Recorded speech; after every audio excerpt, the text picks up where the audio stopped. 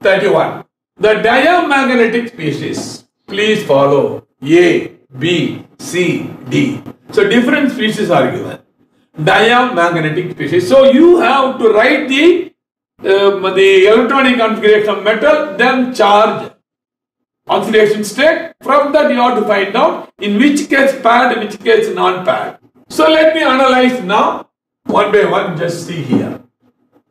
So I have written all the four. Just see here. The first case A nickel tetra that is six. uh, uh, this is uh, nickel four minus, not six four minus. So D8S2 is the electronic configuration.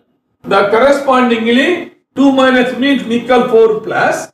So D6 is the electronic configuration. So D6 is the strongly gone. So diamagnetic. Nickel here again D8S2. 2 electron is gone means D8 will be there. D8 means what way I will write here. D8 kindly follow 1, 2, 3, 4, 5, 6, 7, 8. So 2 unpaired electron is here. So come over here cobalt. Cobalt means D7S2 electronic configuration. So this is 2 plus. So 2 electron is gone. 7 means again just see here 1, 2, 3, 4, 5, 6, 7, 3 unpaired electron.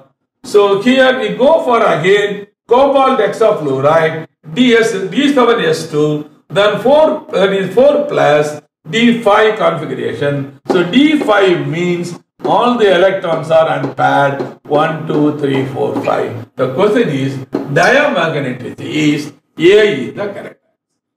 answer. So question number 31 A is the correct.